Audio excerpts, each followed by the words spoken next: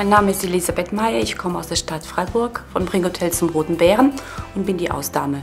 Also zu meine Tätigkeiten gehören einfach die verschiedenen Räume kontrollieren auf Sauberkeit, die Gäste, die Gäste begrüßen, Räume dekorieren.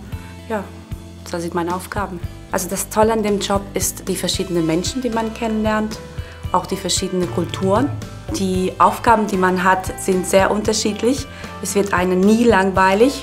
Ja, deswegen mache ich das auch gerne.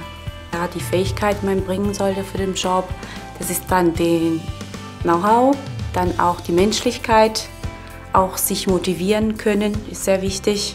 Ja, und Freude an dem Job vor allem. Also ich finde, das Betriebsklima in einem Ringhotel ist sehr schön.